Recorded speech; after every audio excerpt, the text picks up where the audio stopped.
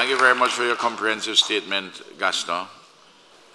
We go to the Prime Minister of Barbados, Mia Amor Mottley, our dear comrade sister.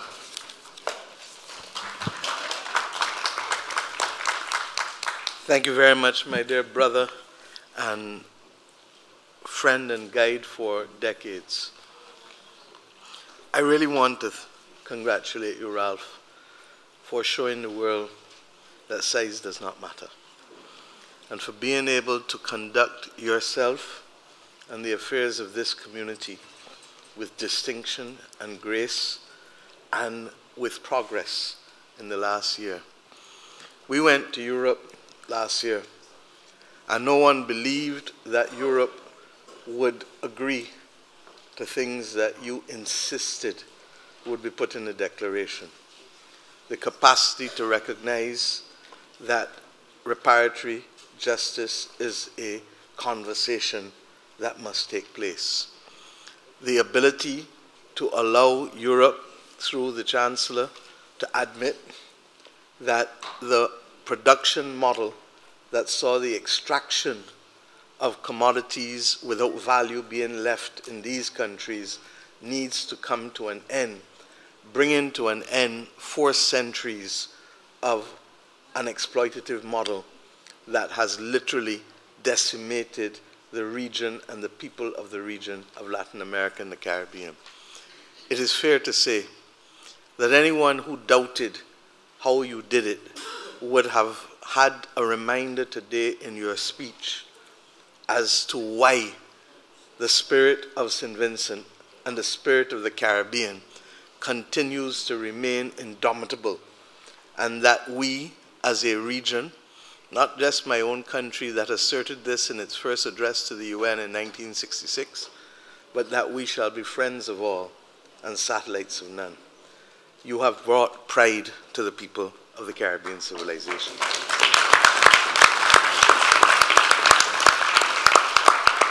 I have every confidence that our sister in Honduras and our brother in Colombia shall continue in the same vein because, as we were reminded today, our region has worked hard to remain a zone of peace and that we were able, even in the midst of great struggle and difficulty, to have our brothers in Guyana and Venezuela come to St. Vincent to reach that conclusion, even if in a mutual state of dissatisfaction, they have asserted the value of peace and life.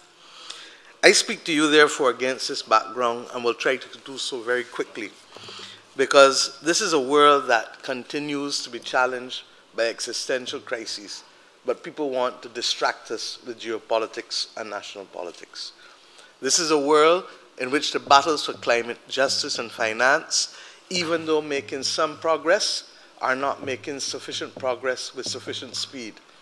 And I hear and want to thank the Secretary General of the United Nations, whose voice has remained unwavering and resolute in providing us with a moral compass, calling for a new social contract and calling for fairness among the world's countries such that when Antigua hosts the fourth summit of Small Island Developing States, 30 years after the Barbados Program of Action, which was the first Small Island Developing States Summit, that we believe that even if we are not seeing full success, we are building momentum in being able to reverse centuries of, of, of, of, of, of undermining of the voice of small states and indeed of exploited people.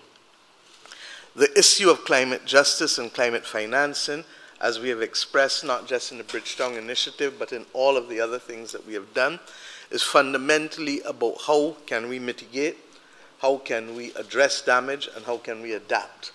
In terms of mitigation, quite simply, we know that methane will cause much greater damage than even carbon dioxide. Let us not rely on voluntarism. Let us get a global agreement on methane in order to give ourselves the best chance of staying below 1.5 to stay alive. Secondly, with respect to loss and damage. We are grateful for the fact that we've acknowledged and created a fund, or is about to create a fund, because Europe has to agree finally to the appointment of its directors and is holding it up. But even when we create it, and even though we've had $700 million in pledges, the reality is that we don't want to rely on loss and damage, we want to avert loss. And therefore, the real battle remains in climate finance, the capitalization of the funds and the budgets to do adaptation.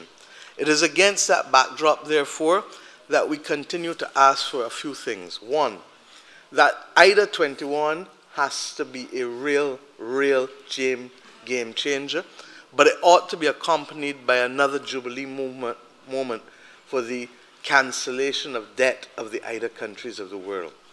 Two, that we need to ensure that middle income countries have access to lower cost debt and longer term debt. We cannot finance schools, adaptation, or hospitals with 15 year debt.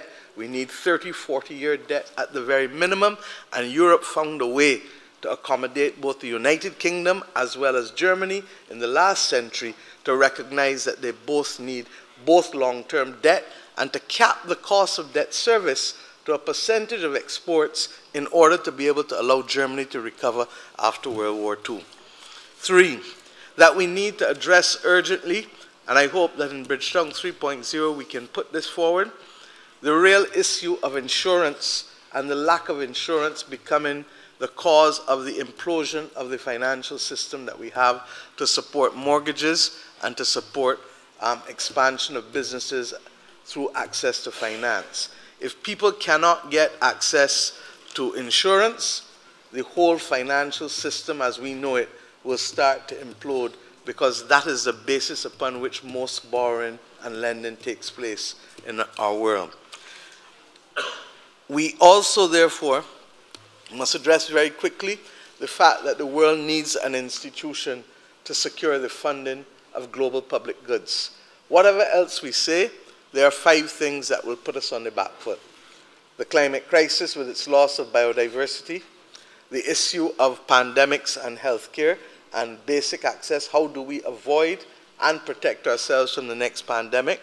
The question of basic access to food and water, because even though we talk about climate, if people don't have water and food within a week or two, there is no life. Four, the question of access to fairness within the digital framework. You cannot have tech companies with market capitalization in the billions of dollars and people without access to digital.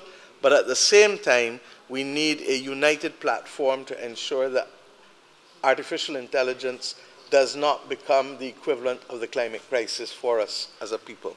And fifthly, we need to make sure that we deal with the consequences of war and fragility. The Secretary General said it so well this morning. There is too much war globally. And the reality is, whether it is Gaza, whether it is Ukraine, whether it is Africa, it must come to an end. These wars are man made, and man can therefore negotiate. I believe that a time will come when they will come to an end. The question is at what cost and how many people will die. The bottom line is that in our own region, as I said, the example of Venezuela and Guyana, and we pray that that continues to hold, should be a beacon to show the rest of the world that it is possible to come together and address these issues. As it relates to Haiti, as we speak, Haiti continues to unravel and to face the worst of circumstances. Our heart bleeds for the Haitian people. The reality is that the world needs to stop paying lip service. And we cannot only address the issue of the political solution and the security solution, which is uppermost, and the immediate humanitarian aid, but there must be a commitment at the same time to put at least a 30 year development compact for the people of Haiti to ensure that we are not back here in the near future again. As it relates to the Gaza, War, this is inexplicable. The world's first televised genocide is uniting the people of the world, even if their governments do not want to be united. And we say simply that Prime Minister Netanyahu needs to be separated from the people of Israel because, as we have seen, there are Israelis who understand that what is happening in the Gaza Strip, in spite of the fact that of all that has happened, is wrong and disproportionate. Mr. Chairman, I ask us, therefore, to speak with one voice on these issues because governments and democracy will have no moral authority to speak on anything if we continue to watch children and women die. We condemn, of course, what happened to the Israelis from Hamas, but we must now condemn what is happening disproportionately to the people of Gaza. I ask simply, where do they go next year and the year after? How will they get housing? How will they get food? How will they get water? How will they live without medicine? And we cannot think, therefore, of only today, but indeed of next year and the near future. Mr. Speaker, me, Mr. Chairman, sorry, as I have said to you, values matter. And much of what we are speaking about is an inequitable, President Lula says it well all the time, system that needs to be transformed. This is based on man made values, and therefore they can be changed equally by man made decisions. You this morning, whether by accident or by providence, ensured that we listened to the wonderful melody of that third world song, Try Jah Love. And I remind us only as we leave here today that we must be for life and for peace.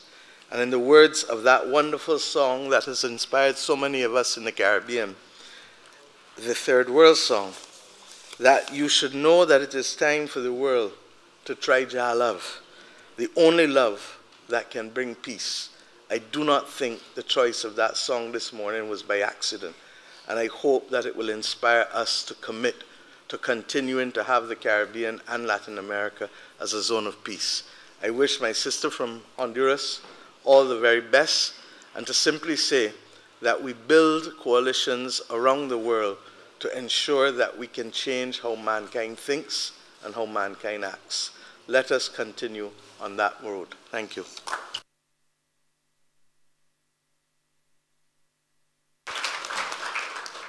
Thanks, as usual, for a very incisive speech and clear delineation of the issues and the line of march.